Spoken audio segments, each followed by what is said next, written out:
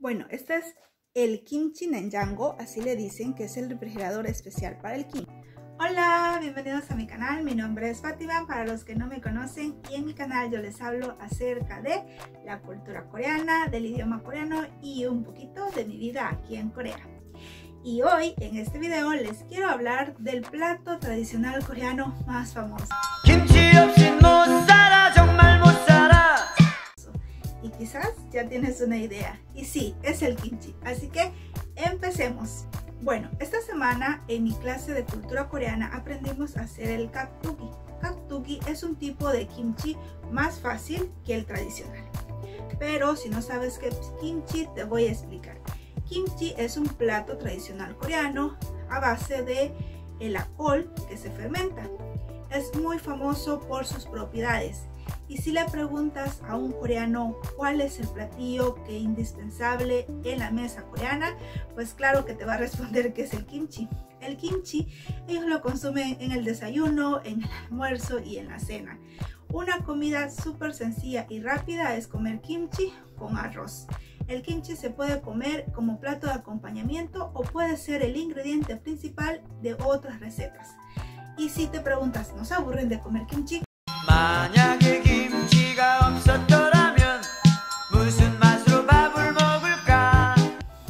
Que no. Ellos comen kimchi porque consideran que tienen ciertas propiedades muy saludables.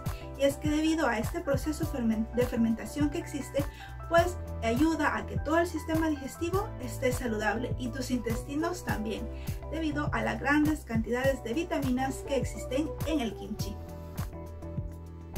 Existe una gran variedad de kimchi. Como dije, yo hice el kaktugi, sin embargo, la receta tradicional puede ser de la col china, la cual tradicionalmente antes se hacía y pues como tiene que estar a ciertas temperaturas, la dejaban en recipientes debajo de la tierra o lo cubrían de la nieve.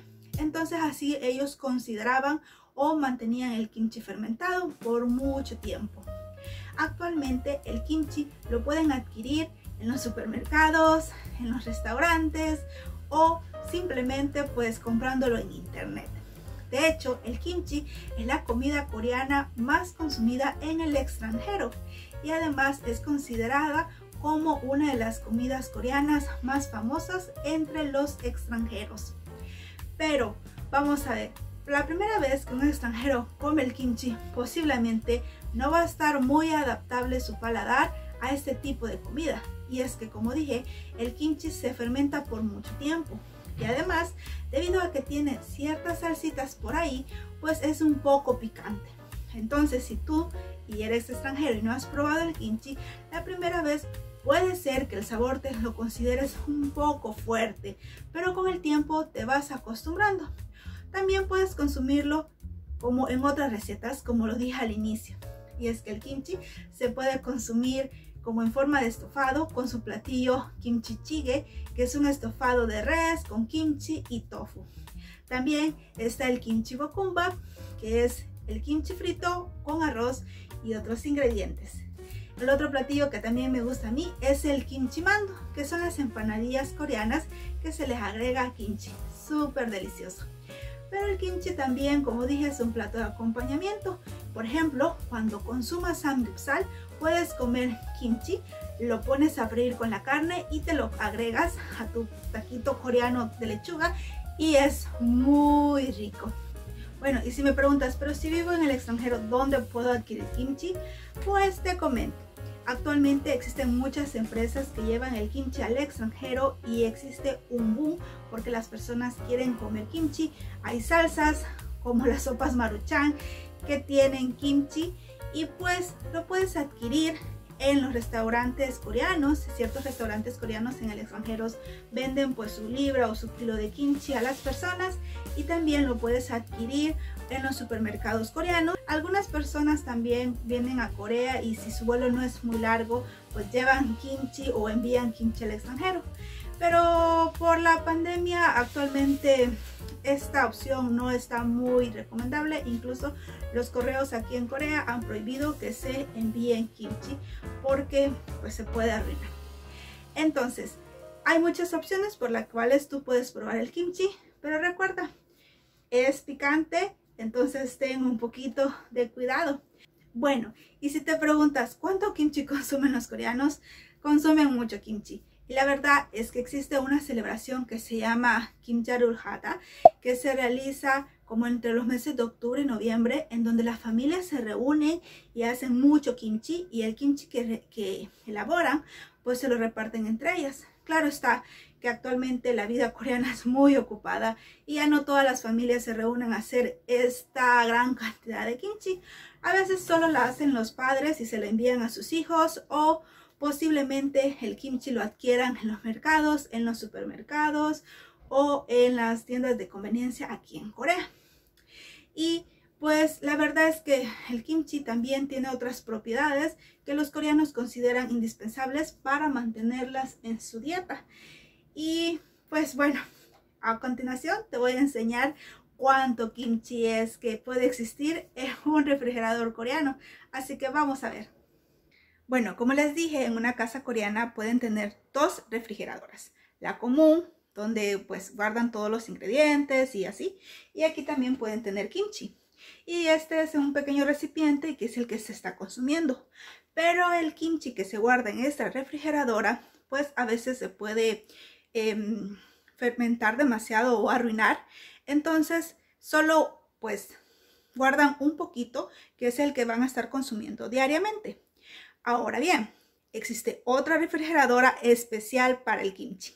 Bueno, este es el kimchi Nenjango, así le dicen, que es el refrigerador especial para el kimchi. Y aquí pues van a tener un kimchi, que es el kimchi que elaboran eh, en el kimjang. Y pues aquí tienen kimchi, por ejemplo en mi casa hay uno, dos, tres, tres recipientes de kimchi Generalmente están llenos los dos compartimientos de la refrigeradora. Aquí también hay kimchi y a veces hay entonces como cuatro de estas recipientes llenos de kimchi. Y estos pues lo hacen una vez al año y aquí los guardan. Tiene que estar el kimchi a temperatura especial para poder consumirlo. Como repito, si están en la otra refrigeradora, el kimchi se puede arruinar. Entonces el kimchi que mantienen aquí pues está a una temperatura diferente. Este es el kimchi que se mantiene generalmente en la refrigeradora normal y es el que se va consumiendo diariamente. Y esta semana pues yo hice el kimchi katuki, que es kimchi también de rábano. Este es el que yo hice. Y pues este lo he hecho hoy. Lo tengo que dejar pues reposar un día y luego colocarlo en el kimchi nenjango. Así pues los coreanos consumen mucho kimchi, la verdad. Bueno, y antes de despedirme me gustaría comentarles que sí, exactamente el kimchi es una comida muy saludable, pero los veganos y los vegetarianos tengan cuidado al comer kimchi porque los ingredientes que tiene el kimchi pues tienen de origen animal. Entonces el kimchi original o la receta original no es vegana ni vegetariana porque lleva, como repito, em, unos ingredientes de origen animal y que son más que todo los de las, algunas salsas que se hacen de pescado o de camarón. Entonces tengan mucho cuidado. Sin embargo, con esta revolución de comer saludable, pues hay unas empresas que han creado kimchi vegano. Entonces es una nueva opción, pero realmente desconozco si en el extranjero ya están disponibles. En el mercado coreano sí, ya puedes encontrar kimchi vegano, así que si eres vegano y vienes a Corea, puedes buscar esta opción para consumir. Esto ha sido todo el video, espero que les haya gustado y la palabra que les quiero enseñar sobre coreano es kimjarun hata, que significa hacer kimchi. Espero que les haya gustado. Suscríbanse si no lo han hecho, dar like, comentar y nos vemos a la próxima. Adiós.